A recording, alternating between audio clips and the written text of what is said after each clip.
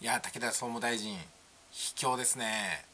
ついにね富士メディアホールディングスが勝手に外資規制違反をしたっていうふうに言い放ちましたね。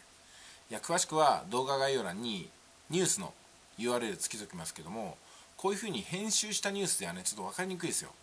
これ富士メディアホールディングス自身がニュースを作って追求した方がいいんじゃないですかね。えどういうことかっていうと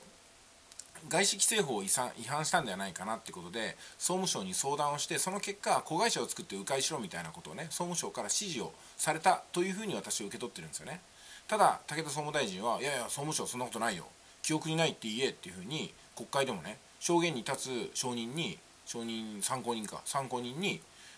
証拠あの何記憶がないって言えって言い張って自分でも記憶がないって言ってそんなことはね覚えがないって言い張って結局このね富士メディアホールディングスだけを一人悪者にして徹底的に調査した結果富士メディアホールディングスだけが悪いですみたいなことね。これ言おうとしてるわけでしょ？どう言うんだと思いますよね？どんなことやみたいな。え相当ひどいんじゃないですかねこれ。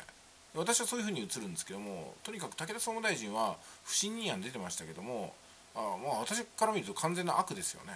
悪党甚だし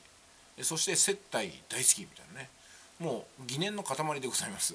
もうね生きてるだけで疑念みたいなね武田総務大臣。そんな感じに私には映るんですけども皆さんの判断はどうでしょうか？それではいってらっしゃい。